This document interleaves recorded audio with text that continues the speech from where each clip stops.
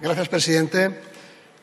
Señora ministra, eh, mejorar el bono social eléctrico, crear el bono térmico, eliminar el impuesto al sol, prohibir el corte del suministro al consumidor en riesgo de exclusión, abrir la puerta al autoconsumo compartido, todos estos son motivos que sobradamente justifican la urgencia, la necesidad del decreto ley que nos trae y que ya le adelanto que Compromís va a apoyar con su voto. Pero debemos analizar las causas últimas de la pobreza energética, que, como usted sabe, se ha convertido en un problema mayúsculo para nuestra sociedad. Y entre esas causas están, básicamente, el que tenemos un sistema tramposo que ha desdeñado las energías renovables, que no ha apostado por la eficiencia y en el que son decisiones del regulador las que encarecen la electricidad. Y todo esto no tiene por qué pagarlo el usuario de la energía.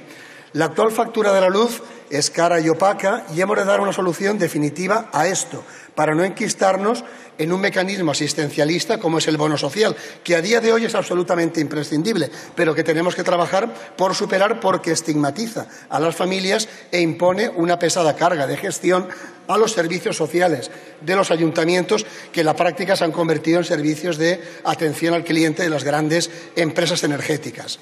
Nosotros Pensamos que debe irse más allá, debe plantearse una factura barata y fácil de entender, que se exprese simplemente mediante un precio por kilovatio hora, haciendo una tarifa auténticamente social que tenga un primer tramo vital económico exento de IVA o a tipo superreducido, con una limitación del beneficio empresarial y luego tres o cuatro tramos superiores fuertemente progresivos en los que ya se pague por el derroche de energía o por los consumos suntuarios. Y también hay que eliminar los fijos de la factura, ese pago simplemente por potencia contratada que no existe en muchos países europeos y que sirve únicamente para que el oligopolio eléctrico tenga unos grandes beneficios aunque no haya consumo. Hemos pedido también, como otros grupos, que este decreto ley se tramite como proyecto de ley por el procedimiento de urgencia, porque queremos introducir una serie de enmiendas que abundan en la línea que he expuesto.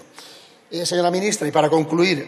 empezamos a ir bien con este decreto ley, pero como usted sabe, se ha perdido mucho tiempo con los gobiernos anteriores y ahora debemos acelerar las transformaciones porque este país no puede esperar más. Muchas gracias. Muchas gracias, señor Bataller. Por el Grupo Parlamentario